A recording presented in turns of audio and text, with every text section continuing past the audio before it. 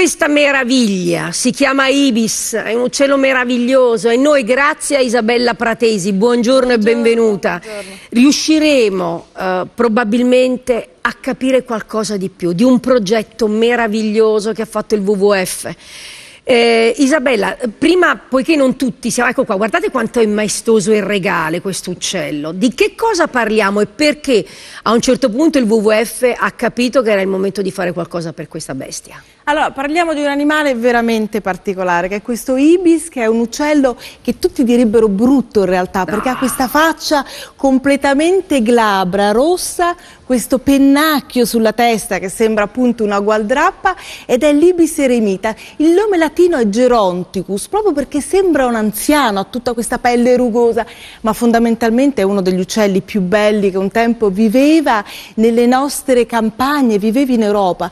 Purtroppo già negli negli ultimi secoli si è estinta, è andato scomparendo. Oh, parolina da tenere a mente, sì. pensate, questa è una specie se che senza un certo intervento del quale parleremo eh, si sarebbe definitivamente... Che cosa ha concorso all'estinzione? Non lo sappiamo perché l'estinzione è iniziata addirittura 400 anni fa, addirittura l'arcivescovo di Salisburgo nel 1500 fece un editto chiedendo di non uccidere questi uccelli. No. Questi uccelli nidificavano, pensate, nelle torri, nelle mura dei castelli, fra i merli ed era un uccello meraviglioso con questo becco ricurvo quasi mitologico, quasi considerato sacro.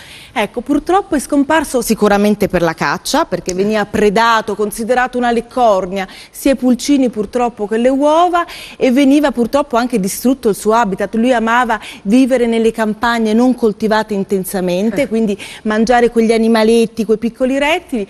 Purtroppo l'agricoltura industriale ha distrutto i suoi territori, purtroppo la caccia, il bracconaggio l'ha anniettato, è rimasto in piccole popolazioni in Nord Africa. L'abbiamo in Marocco, abbiamo una piccola popolazione popolazione in Siria. Pensate che in Siria po pochi anni fa è stata scoperta l'ultima popolazione vicino proprio ai resti di Palmiria. Oh, non sappiamo più che cosa sia di questi uccelli, ma insomma in tutto il mondo ne rimangono veramente poche decine. Quasi custodi di quelle rovine, custodi sì, di esatto. quella storia che purtroppo è stata fatta a pezzi, è stata massacrata, ma che noi speriamo prima o poi possa veramente ritornare l'antico splendore. Questa preoccupazione il WWF l'ha fatta propria. L'abbiamo certo fatta punto... nostra, sì, perché vogliamo riportare l'ibis eremita in Europa. È troppo bello, appartiene a tutti noi, è un uccello considerato appunto quasi sacro e ce la stiamo mettendo tutta insieme al team tedesco, il team di Waldrappen, che hanno fatto un esercizio strepitoso. Ecco Isabella, cominciamo, andiamo pian pianino a scoprire sì questo progetto meraviglioso del quale tra poco vedrete delle immagini che sono veramente impressionanti per la bellezza ma anche la tenerezza che suscitano. L'uomo che ha portato all'estinzione questo animale potrebbe far tanto per farlo ritornare nei nostri, nei nostri cieli. Allora, una collaborazione, questa è la prima cosa. È una collaborazione un po' geniale. Una collaborazione fra chi aveva gli ultimi esemplari di questo animale negli zoo tedeschi, austriaci, svizzeri, una collaborazione con le OSI del WWF e una collaborazione di scienziati appassionati che hanno deciso che si poteva insegnare a questi uccelli a tornare a vivere in Europa. Quindi che hanno fatto? Hanno preso le uova, Questo è bellissimo. le hanno incubate con un eh, grandissimo amore, hanno fatto nascere i piccoli piccoli e quando i piccoli hanno raggiunto un'età giusta gli hanno insegnato a volare e soprattutto a migrare perché una parte fondamentale della vita di questi uccelli è poter migrare d'inverno verso luoghi più caldi, quindi dall'Austria, dall dalla Germania, arrivare in Italia nelle nostre osi del WWF e poi quando invece arriva di nuovo diciamo, il, una temperatura adatta poter tornare di nuovo in Austria e in Germania. Loro dove, in quale osi del WWF hanno Loro, soggiornato? Soggiornato queste creature? Adesso sono appena arrivati nell'Ose di Orbetello in Toscana ed è ogni volta una gran festa vederli arrivare perché non arrivano da soli, ovvero insegnare a volare questi uccelli vuol dire imprintarli sull'uomo, ovvero insegnare a questi uccelli che l'uomo è il suo compagno. Allora fermati ecco, Isabella, sì. eh, fermati, che questa premessa era necessaria per capire le immagini straordinarie di cui vi ringraziamo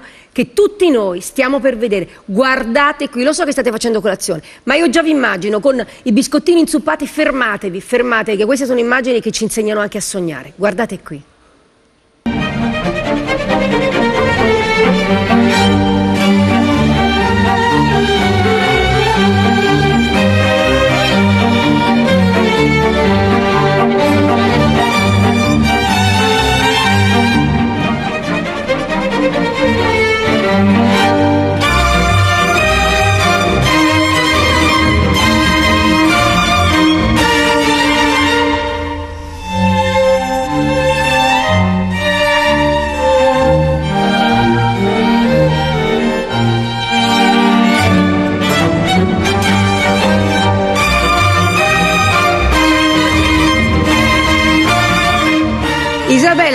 Ci fermiamo qui, sono immagini che non si stancheremmo di guardare. Sembra veramente impossibile, ma è stato così. Lo stesso uomo, ripetiamo, che ha contribuito purtroppo all'estinzione, sta insegnando loro a volare. E guardiamola questa cartina, che ci dice molto, Isabella, perché?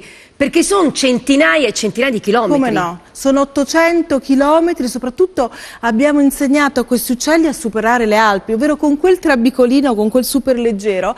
Io mi commuovo, posso no, dirlo quando l'ho fatto anche io. Perché questi uccelli hanno una tale fiducia nell'uomo che sono disposti a seguirli ovunque. Quindi quando si alza in volo l'ultraleggero, ah. loro gli vanno dietro, lo seguono proprio come se seguissero la propria madre, attraversano le Alpi ad un'altezza straordinaria perché per evitare le correnti devono andare a 2000 metri sopra le Alpi, quindi è anche pericoloso per, per il freddo, per i venti, eccetera. Superano le Alpi e arrivano giù in Italia e dall'Italia poi arrivano alle nostre osi. Una cosa drammatica che va detto è che molti di questi animali sono stati purtroppo uccisi in questo difficile, complicato, importantissimo viaggio dai bracconieri. Purtroppo, nonostante, nonostante il fatto che siano stati avvisati dell'importanza del progetto, nonostante no. il fatto ci sia stata tanta dedizione, quando questi uccelli, perché una volta che hanno imparato a fare il viaggio con noi, il nostro obiettivo è quello che lo facciano poi autonomamente, infatti alcuni di questi poi imparano a fare su e giù e vanno e tornano nella migrazione. Purtroppo sono spesso soggetti ad essere uccisi. Isabella, c'è questa uh, sottolineatura che tu hai fatto. Mm si fidano così tanto da sì. seguirci ovunque. Sì. Io credo che ci sia tutta la storia, forse anche dell'umanità futura in quello che tu hai detto.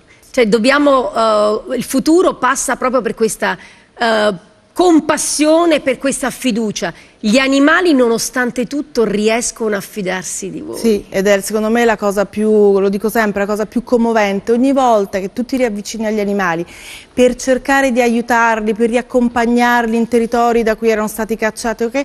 noti che sono, hanno una disponibilità verso l'uomo, una capacità di fidarsi enorme, che l'uomo non avrebbe verso se stesso. E questa secondo me è la grande forza e la grande potenza della conservazione della natura e quello che ci permette di fare cose cose straordinarie. E poi li chiamiamo animali. Io ho detto sì. prima queste bestie, ma l'ho detto con la maggiore tenerezza possibile sono animali che arrivano ad insegnare qualcosa a noi uomini e non viceversa. Fabio, visto, ti ho visto colpito, tu non avevi visto ancora no, tutto bellissimo. il filmato, ti, hai vissuto l'emozione che ho vissuta io ieri. Anzitutto un grande senso di libertà, sì, devo dire, sì. e poi anche, se volete, di democrazia. Perché? Perché ho scoperto, eh, anzi in realtà non l'ho scoperto io, ma l'ha fatto un gruppo di ricercatori del, pensate, dell'Università La Sapienza di Roma con il CNR che ha realizzato una sorta di equazione per calcolare come gli stormi cambino rotta. Però guardate come queste immagini che arrivano dal web, dal canale YouTube di Euronews e mostrano come spesso l'uomo si impegna da questo punto di vista favorevolmente lui stesso in prima persona per sostenere e guidare anche stormi di uccelli in volo. Li vedete? Praticamente in qualche modo riproduce le ali e in questo modo guida un gruppo che si era perso. È straordinario perché guardate tra poco il punto di vista, cioè l'essere assolutamente in mezzo in questo stormo, toccarli e quindi volare con loro, qualcosa di Bellissimo. straordinario. E questa equazione che cosa riesce a dimostrare? Ebbene, come da un punto di vista matematico per uno stormo di 400 uccelli basti mezzo secondo per cambiare rotta, ma la cosa più bella è che in realtà non esiste un leader tra loro, cioè più sono ordinati più basta mezzo secondo per cambiare rotta. Ciascuno di loro infatti può comunicarlo agli altri e lo spettacolo è davvero unico. E anche lì ci si fida, basta che uno esatto. cambi e gli altri vengono, vengono appresso. Isabella, eh, ricordo direttore del programma di conservazione del WWF Italia, che lezione consegna questa esperienza?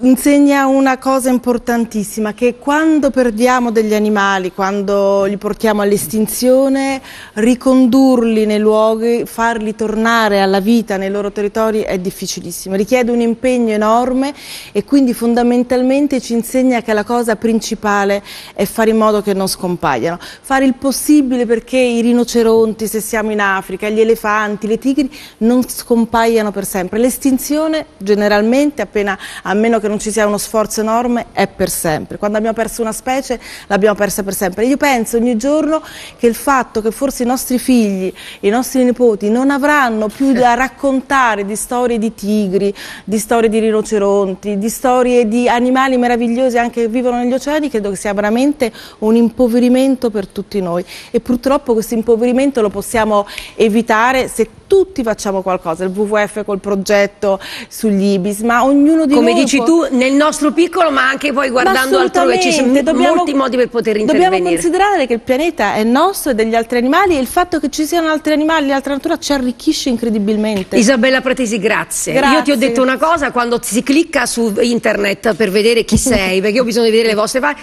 sei sempre ritratta con il sorriso, ce l'hai dentro per cui lo hai regalato anche qui questa mattina. Grazie, grazie davvero grazie. di cuore. A proposito di quello che tutti noi dobbiamo e possiamo fare, vi portiamo a Ventimiglia tra un